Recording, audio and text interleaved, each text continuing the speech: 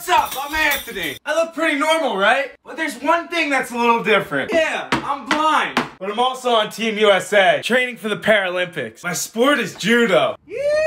I also skate.